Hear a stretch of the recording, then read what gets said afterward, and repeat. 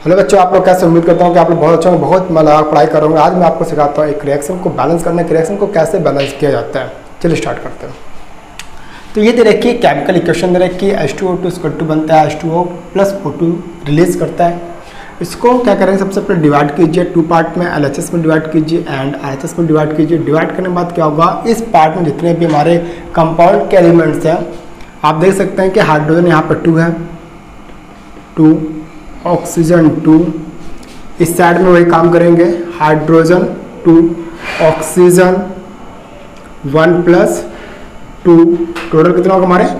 Three हो गए आप चेक कर लीजिए कि दोनों साइड के जो एलिमेंट्स के नंबर है, कोई अंतर है या नहीं है? दे रखा है यहाँ पर टू दे रखा है, इस साइड टू दे रखा है, इधर ऑक्सीजन टू दे रखा है बट यहाँ पर दे रखा है थ्री दे रखा है। ये एक मेजर डिफरेंस है। क्या है हमारे इधर रखा है? एक मेजर डिफरेंस दे रखा है। अब यहाँ पे क्या होगा? इसको यहाँ पर थ्री करते हैं या और कोई नंबर चेंज होता है? चेक करते हैं यहाँ पर। यहाँ पर टू का मल्टीप्लाई करके देखते हैं। तो टू का मल्टीप्लाई करें तो क्या होगा? टू का मल्टीप्लाई करें तो कितना आएगा हमारा? फोर हो जाएगा।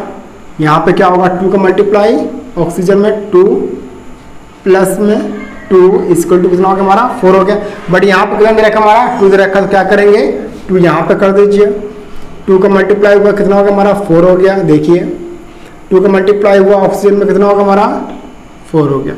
इतना करने के बाद क्या करें? दोनों साइड के एलएचएस एंड आर साइड के जो जो भी एलिमेंट्स है, वो देखेंगे चेक करेंगे, कोई डिफरेंस अभी भी आ रहा है या नहीं आ रहा है। Hydrogen four hydrogen four oxygen four oxygen four तो ये रिएक्शन क्या हो गई? बहुत आसान तरीके से बैलेंस हो गई। तो आप आप क्या काम करेंगे? बहुत आसान तरीके से चैनल को आप सब्सक्राइब कीजिए वीडियो को लाइक कीजिए वीडियो दोस्तों को शेयर कीजिए। मिलता है नेक्स्ट वीडियो में। Thanks for watching